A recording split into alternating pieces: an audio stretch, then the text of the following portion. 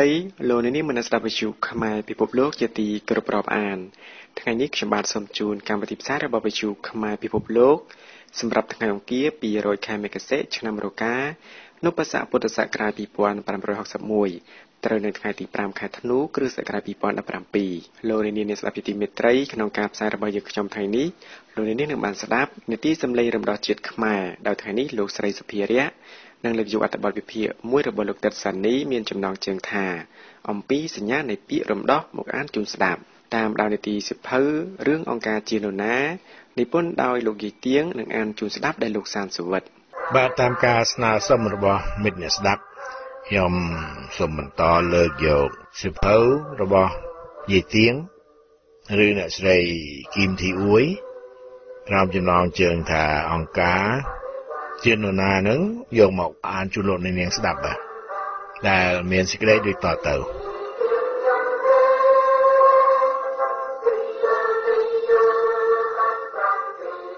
ចំពោះទី2យួន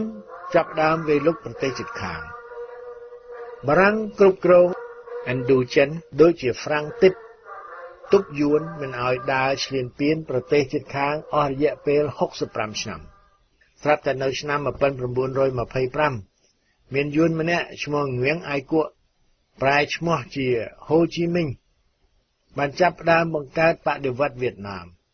លុះដល់ឆ្នាំ1929ហូជីមីងក៏ច្នៃប្រឌិតឲ្យទៅជាបកកុម្មុយនីសវៀតណាមហូជីមីងដោះគំនិតលោភលន់ចង់វាទីយកទឹកដីកម្ពុជាក្រោមកម្ពុជាកណ្ដាលនិងឡាវគឺដោយសារ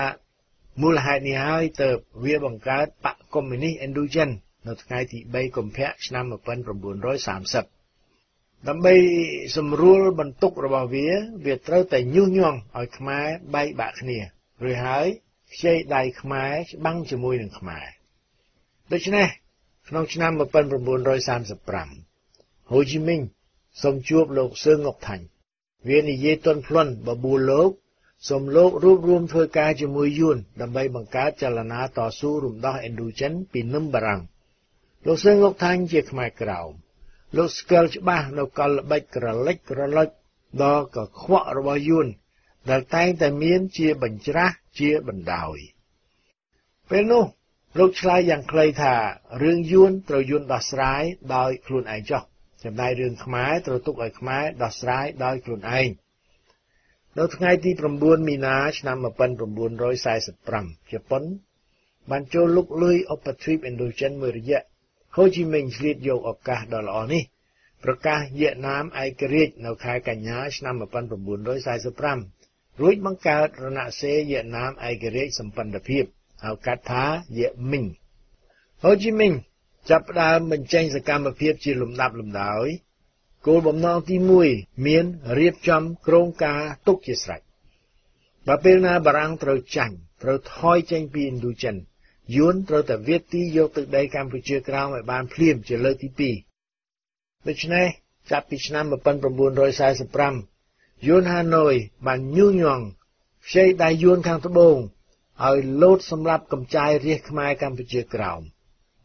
ជាពិសេសពួកអ្នកចេះដឹងញ៉ាំងឲ្យខ្លាច ក៏នឹមគ្រួសាររត់ចោលស្រុកចោលទឹកដីទុកឲ្យវាវាប្រើសង្គ្រាមក្តៅហូជីមិញលៃលោកឈានមួយជំហានម្ដង មួយជំហានម្ដង កំតិចខ្មែរមួយផ្នែកម្ដង មួយផ្នែកម្ដង តាមគម្រោងការរបស់វា ដែលមានព្រៀងទុកមកជាស្រេចមើលចុះនៅប្រទេសកម្ពុជាកណ្ដាលយួនចាត់ការប្រើសង្គ្រាមត្រជាក់ដូច្នេះក្នុងខែកញ្ញាឆ្នាំ1945ដដែលនោះហូជីមិញ បែរជាបញ្ជូនបូដូយចូលមកកាន់ប្រទេសកម្ពុជាដោយយកលេសថាយួនស្ម័គ្រចិត្តចូលមកជួយខ្មែរដេញបារាំងបូដូយចាប់តាំងមូលដ្ឋាននៅខេត្តនានាដូចជាមណ្ឌលគិរីរតនគិរីកោះកុងសៀមរាបបាត់ដំបងនិងតំបន់និរតីទិសកាលនោះបូដូយស្ថិតនៅក្នុងព្រៃជ្រៅវាចាប់ផ្ដើមតាក់ទងក្រុមចៅព្រៃតាក់ទងរាជខ្មែរក្រក្រនៅតាមជនបទនិងទីប្រជុំជនព្រៃភ្នំឆ្ងាយដាច់ស្រយាល វានិយាយទន់ភ្លន់ផ្អែមល្ហែមវាខំឃោសនាកុហកថាបុដោយស្ម័គ្រចិត្តចូលមកស្លាប់ជាមួយខ្មែរដើម្បីវាយដេញបារាំងវាលែងធ្វើការស្របស្របជាមួយនឹងក្រុមខ្មែរអ៊ីស្រាអែលដែលកំពុងប្រឆាំងតទល់បារាំងដើម្បីទាមទារឯករាជ្យជូនប្រទេសកម្ពុជា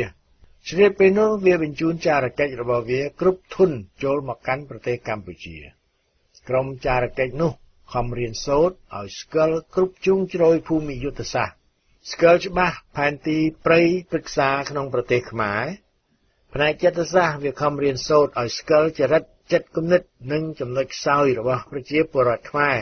ចាប់តាំងពីអ្នកស្រុកព្រៃភ្នំ អ្នកស្រុកចំការជនបទមេទីហ៊ានអ្នកមើនខ្មែររហូតដល់អ្នកមើនក្នុងវាំងឡាក់វាខំដកស្រង់ការពិសោធន៍នានា វាតាំងខ្លួនល្អណាស់សំបីតែជីស្លឹកគ្រៃម្ទេសរបស់ខ្មែរក៏វាមិនប៉ះពាល់ឡើយនៅពេលនោះហូជីមិញឆ្លេឆ្លារោគមេដឹកនាំខ្មែរស្រាប់តែវាដឹងថានៅថ្ងៃទី16ខែតុលាឆ្នាំ1945បារាំងចាប់ខ្លួនលោកសឿងងុកថាញ់នាំយកទៅដាក់គុកនៅខេត្តពូជេស្រុកបារាំងហូជីមិញក៏សម្រាំងជ្រើសរើសបានយួនម្នាក់ឈ្មោះងៀងវ៉ាន់មៀនហៅអាចារ្យមៀន ដែលបួសជាលោកសង្ឃខ្មែរបានរៀនសូត្ររបៀបរបបទំនៀមទម្លាប់ខ្មែរយ៉ាងជ្រៅជ្រះអាចលួចបន្លំធ្វើជាខ្មែរបានដូច្នេះហូជីមិញសម្រេចដាក់ឈ្មោះយួននោះថាសឿងងុកមិញរួចផ្សាយផូបន្ថែមថាជាប្អូនប្រុសបង្កើតរបស់លោកសឿងងុកថាញ់នៅខែមេសាឆ្នាំ1950ហូជីមិញចាត់បញ្ជូនឲ្យអាចារ្យមាន ប្រែឈ្មោះជាសឿងងុកមិញ វាចាត់តែងតាំងជាស្រេចជាប្រធានរដ្ឋាភិបាលខ្មែរតស៊ូទទួលបន្ទុកជានាយករដ្ឋមន្ត្រីហើយចូលកាន់ប្រទេសខ្មែរចាប់ដៃរួបរวมជាមួយអាចារ្យសុកប្រែឈ្មោះជាទូសមុទ្រដែលហូជីមិញចាត់តាំងជាប្រធានរណសេរីជាតិឯកភាពរួចហើយដូច្នេះសើងុកមិញនិងទូសមុទ្រ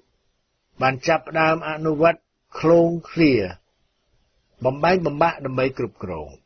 វាចាប់ផ្ដើមញុះញង់បញ្យល់ក្រុមចៅព្រៃរាជខ្មែរដែលក្រល្ងងនៅតាមជនបទ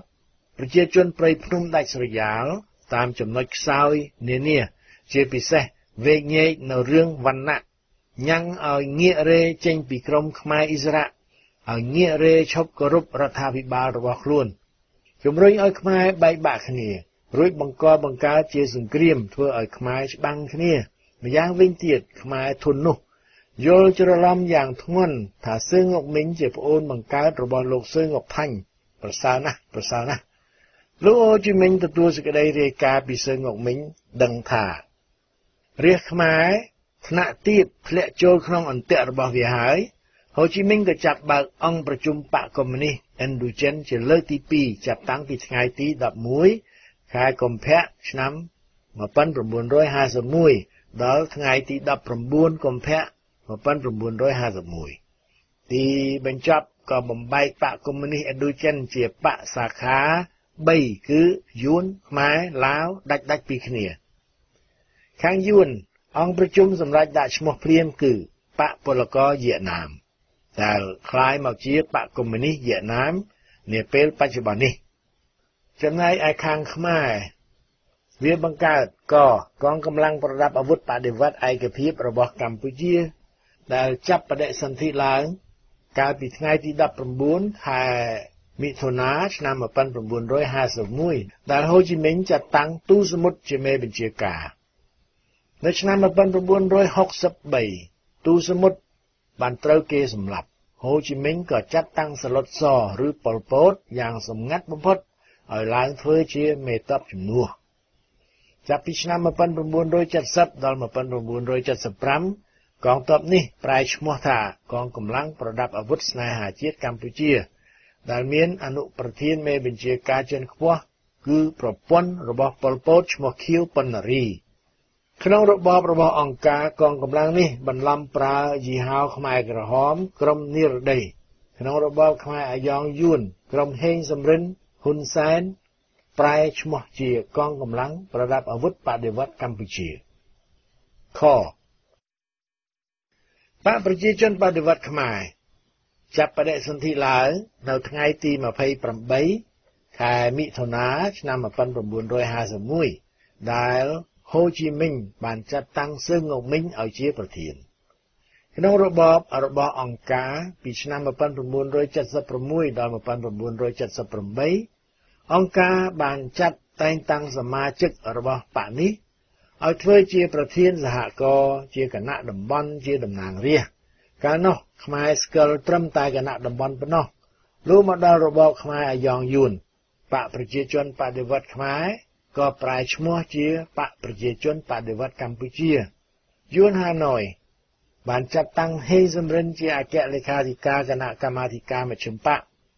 ចំណែកអឺមិត្តមិត្តដូចជាហ៊ុនសែនជាស៊ីមជាសុតជាដើមយួនហាណូយបានចាត់តែងតាំងឲ្យជាសមាជិកការិយាល័យនយោបាយមជ្ឈិមបកបច្ចុប្បន្ននេះគណៈបកប្រជាជនបដិវត្តកម្ពុជាក៏បានបដូរឈ្មោះមកជាគណៈបកប្រជាជនកម្ពុជា ដែលមានជាស៊ីមជាប្រធាន នេះជាប្រវត្តិខ្មែរអាយ៉ងយួនដែលខ្មែរយើងតែងតែហៅថាខ្មែរយាមិញ តាំងពីខែមិថុនា1951នោះមកនៅថ្ងៃទី22ខែមីនាឆ្នាំ1955ទើបគណៈបកប្រជាជនបដិវត្តឡាវកើតឡើងទោះបីបង្កើតបកសាខា3ដាច់ដោយឡែកពីគ្នាយ៉ាងនេះក៏ដោយក៏នៅតែមាន ប្រភពរួមតែមួយគឺបកកុម្មុយនីសឥណ្ឌូចិនដដែល មានន័យថា បកខ្មែរឡាវត្រូវតែគោរពធ្វើតាមបញ្ជារបស់ហូជីមិញដដែលដំណាក់កាលជាដំបូងរបស់បកសាខាទាំង3គឺត្រូវតែកំទេចសក្តិភូមិនិងចក្រពត្តិក្នុងខែមីនាឆ្នាំ1952ហូជីមិញដឹងថាលោកសឹងងុកថាញ់វិលត្រឡប់មកពីប្រទេសបារាំងវិញហើយរួចលោករត់ចូលព្រៃចាប់ដៃរួបរวมជាមួយក្រុមខ្មែរអ៊ីស្រាអែលដើម្បីកំទេច ដេញបារាំងតទៅទៀតហូជីមិញក៏ឆ្លេឆ្លាចាត់ចែងបញ្ជូនតំណាង4នាក់គឺខ្មែរ2នាក់យួន2នាក់ទៅកាន់ភូមិអូស្មាច់សូមជួបលោកសឹងអុកថាញ់លោកសឹងអុកថាញ់អនុញ្ញាតឲ្យតែខ្មែរ2នាក់ចូលជួបជាមួយលោកពេលនោះខ្មែរតំណាងរបស់ហូជីមិញស្នើសុំតាមសំណើរបស់ហូជីមិញដូចតទៅ ខ1សូមបញ្ជូនបូដយ បន្ថែមចូលកាន់ស្រុកខ្មែរដើម្បីជួយច្បាំងដេញបារាំងឲ្យចេញពីស្រុកខ្មែរខ2សូមឲ្យខ្មែរជួយផ្ដល់ស្បៀងអាហារដល់បូដយនៅស្រុកយួនខ3សូមសិទ្ធឲ្យបូដយដើរត្រួតត្រាចុះឡើងតាមបណ្ដោយព្រំដែនខ្មែរយួនដោយសេរីពេលនោះលោកសឹងលោកថាញ់បដិសេធសំណើនេះព្រមទាំងឆ្លៀតឱកាសនោះខំបញ្យល់ខ្មែរយេមិញទាំងពីរនាក់ ឲ្យយល់នៅគម្រោងការដ៏កខ្វក់របស់យួនហាណូយដែលវាចេះប្រើកលល្បិចមានជាបញ្ច្រាស់មានជាបណ្ដោយជានិច្ចចូលគុំទុកចិត្តឲ្យសោះលោកបញ្ជាក់ថាប្រជាពលរដ្ឋខ្មែរសុភាពស្ងប់ស្ងៀមស្លូតបូតសុចរិតស្រឡាញ់សេរីភាព90%កាន់ព្រះពុទ្ធសាសនា យើងមិនអាចលោតកញ្ជ្រោលដោយភ្នំភ្លើងប្រើធัวក្តៅដោយយួនដោយយួនយៈមិញបាននោះឡើយ ដីធ្លីប្រទេសខ្មែរយើង មានជីជាតិល្អធំទូលំទូលាយណាស់សម្រាប់បង្កើនផល យើងធ្វើស្រែតែម្ដងមួយឆ្នាំរួចយើងសម្រាក5 6ខែយ៉ាងស្រួលចំណែកឯព្រៃឈើដ៏មានតម្លៃមានដល់ទៅ73%នៃផ្ទៃដីទាំងអស់ទន្លេសាបទន្លេមេគង្គផ្ដល់ត្រីបានគ្រប់គ្រាន់ក្រឡេកមើលទៅត្បូងមានតម្លៃវិញ យើងមានយ៉ាងច្រើនឡាក់ ដូច្នេះយើងគ្រាន់តែរួបរวมគ្នា បំបត្តិឈ្មួញកណ្ដាលបំបត្តិសំណោកសោកប៉ាន់យើងអាចដោះស្រាយបញ្ហាជីវភាពកសិករខ្មែរបានយ៉ាងងាយលក្ខនឹងលក្ខខ្មែរទាំងពីរអ្នកនោះវិលត្រឡប់ទៅជួបវាហូជីមិញក៏ចេញបញ្ជាឲ្យគេសម្លាប់អ្នកទាំងពីរនោះចោលដើម្បីជៀសវាងកុំឲ្យបែកការរបស់វាខ្ញុំស្លេះចំពោះទី2នៃសភៅរឿងអង្គការជានរណារបស់យាយទៀងឬអ្នកស្រី គឹមធីអ៊ួយតែប៉ុណ្ណេះសិនបាទចាំថ្ងៃក្រោយតទៀតសម្រាប់ថ្ងៃនេះសូមអរគុណដែលតាមស្ដាប់និងជម្រាបលាបាទ